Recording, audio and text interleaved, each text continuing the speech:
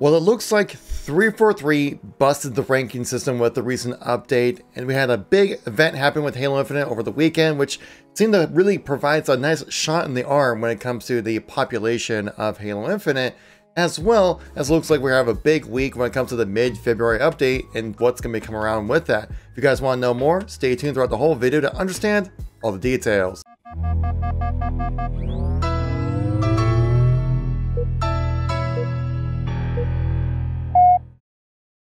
How's it going Halo fans? Kevin here once again giving our news and informational video. If you like these kind of videos, make sure to tap that like button. Let me know you want to see some more content like this and it greatly helps with the video channel within that infamous YouTube algorithm. If you want to stay updated with everything going on with Halo, make sure you tap subscribe. So let's get right into the content here. So you heard me right, it sounds like the ranking system right now in Halo Infinite is kind of messed up ever since that recent update that was supposed to help out with the whole desync and lag compensation issue that we talked about in a previous video. Our best buddy over here, Patman Gaming, kind of tweeted this out originally uh, during the week saying that like, why is he gaining, you know, he's an Onyx tier player, like a, you know, it's it's a low onyx, but it's an onyx. uh, but he's you know he's getting bronze and gold players in his lobbies when he's you know playing with onyx players. He is an onyx player himself. You can see these scores are here very one-sided.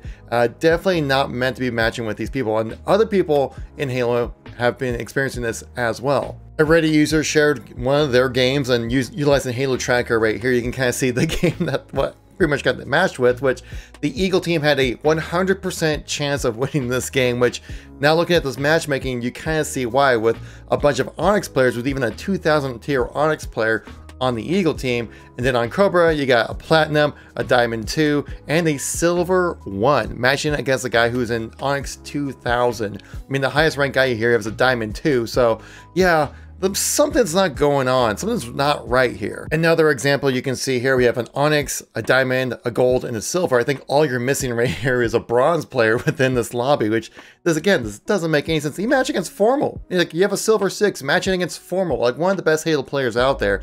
That should not be happening. And I know right now I'm sounding like a broken record, but this is like happening throughout Halo. Another prominent pro, Royal 2, recently released from jail, did pretty well within the Anaheim event, which we'll talk about later in this video, where he's a, you know, 2200 level Onyx, gets a gold 4, a bronze 4, and a gold 5, matching against a guy who's unmatched, a diamond 1, gold 2, and gold 3. This is just not how this rank system is supposed to work out at all. But Unyshek from 343 did happen to say a little something about this. The Twitter account of Halo Data Hive, they share a lot of Halo like, API kind of information, which is pretty interesting. If you want to give them a follow, definitely want to go do that. And basically here showcasing the same kind of issues that everyone else is having with the rank system, that it's just all over the place right now.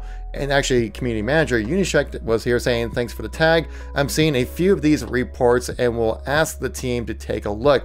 Please feel free to keep sending over examples. Good to see that 343 does recognize this issue, though the problem is like, how does this kind of issue come up? Like, yeah, like the ranking system wasn't like perfect and the matchmaking wasn't perfect, but I'll say like a, you know, an 85%, 90% pretty good job. And right now, it just seems like completely pointless to even play ranked where I'm seeing matches like this happen I don't want to jump into like a ranked lobby and then like get matched with bronze players and then lose my Onyx tier because I'm a low Onyx, but I finally got there, you know? So uh, hopefully this is able to be fixed up rather quickly. Hopefully within this week, hopefully this little patch gets piggybacked onto the mid-February update, which we're going to be getting here most likely this week, which we do have some information about as well. If you guys don't know, there was a big Halo event that happened this weekend. It was the North American Regional Finals kind of a event right now for Halo Infinite. And you'd never guess, but Cloud9 walked away as champions for this event again.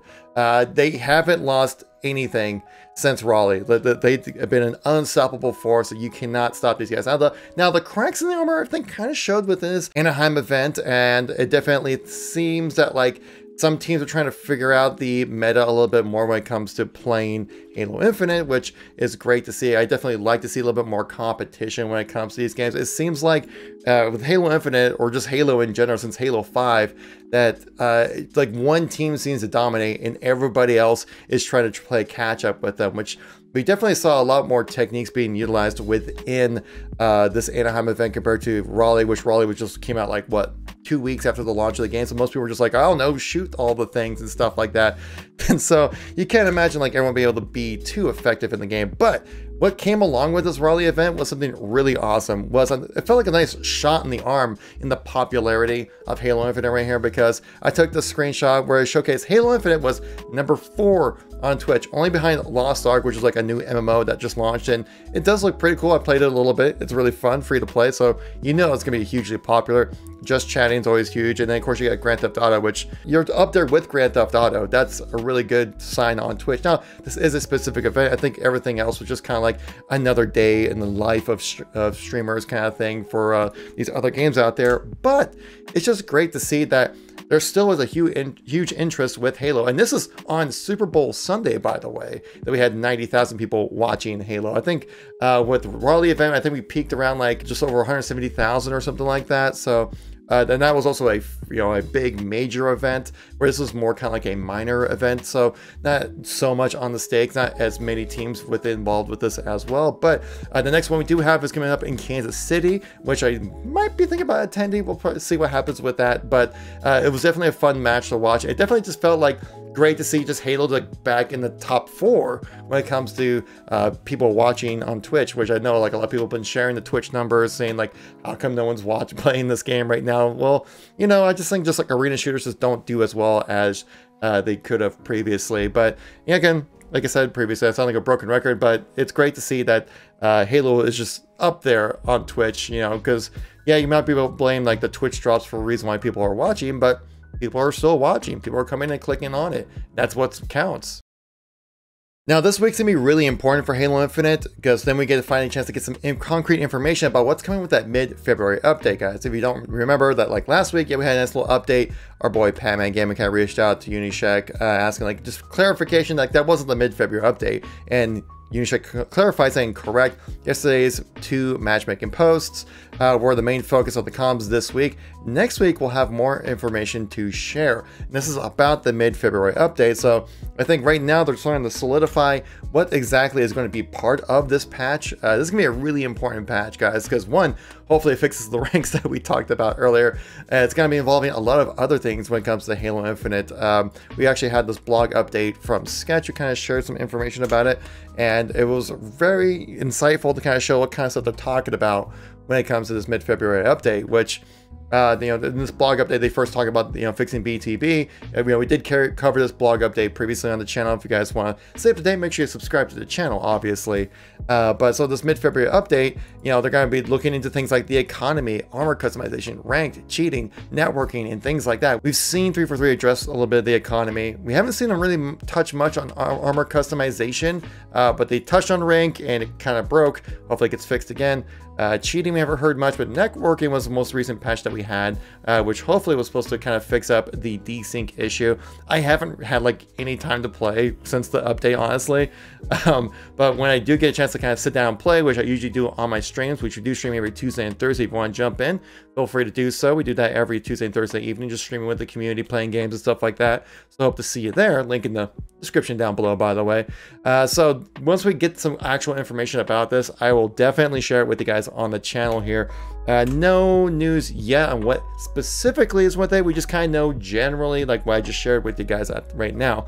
Uh, now, just a quick update, I will be out of town from the 16th to the 20th, so if you want to catch that information, most likely I'll be able to share it on my community page, which this community page is a great source if you want to just get some information real quick or just know like something happened. Uh, this is so, usually I use this whenever like things like uh, happen, just happen like news-wise, I want to share it with you guys and then make a video about it as soon as possible. And I also reach out to you guys here to you know ask questions for like those Q&A videos I like to do. Uh, if I put out a video that I really think you guys need to watch, I'll make sure to share it on here. So in case the YouTube algorithm doesn't want to show you, if it case doesn't show up in your sub box, you also got to know that I do post on this community page quite often asking you guys some questions, sharing information. So definitely want to subscribe to the channel. This would be a way to catch up with these blog posts or whenever they do go live. And this is most likely where I'll be able to share the information with you guys. So again, if you want to catch it as soon as it does happen, tap subscribe. So if you're new to the channel or missing any content from me recently, check out those playlists right here. I'm gonna link to all my Halo Infinite news and informational videos right there. Thanks so much for watching. Greatly appreciate it. I'll catch you all on the next one. Peace out.